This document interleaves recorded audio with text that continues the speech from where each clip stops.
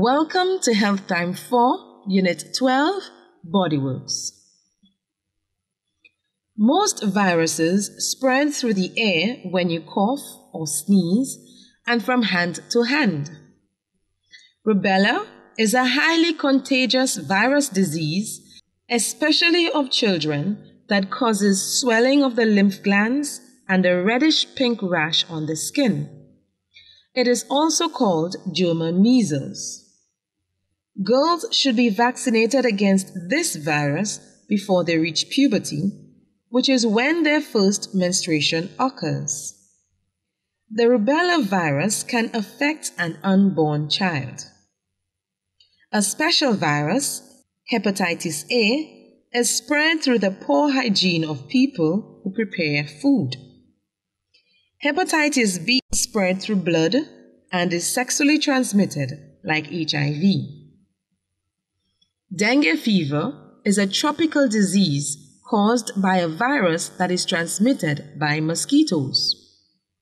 Symptoms of dengue fever are a high fever, a rash, a headache, and severe muscle and joint pains.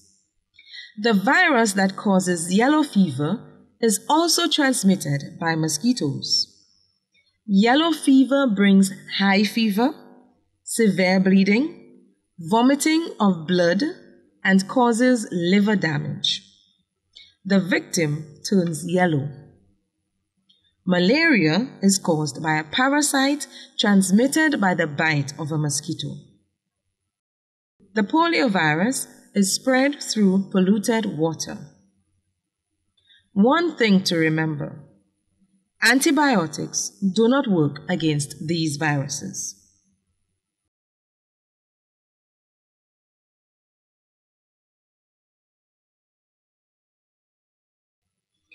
Most viruses spread through the air when you cough or sneeze and from hand to hand.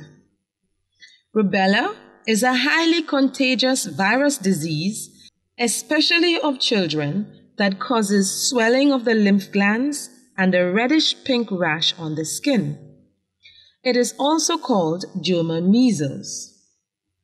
Girls should be vaccinated against this virus before they reach puberty which is when their first menstruation occurs. The rubella virus can affect an unborn child. A special virus, hepatitis A, is spread through the poor hygiene of people who prepare food. Hepatitis B is spread through blood and is sexually transmitted like HIV. Dengue fever is a tropical disease caused by a virus that is transmitted by mosquitoes. Symptoms of dengue fever are a high fever, a rash, a headache, and severe muscle and joint pains. The virus that causes yellow fever is also transmitted by mosquitoes.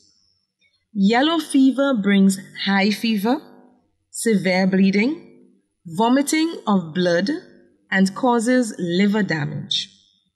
The victim turns yellow.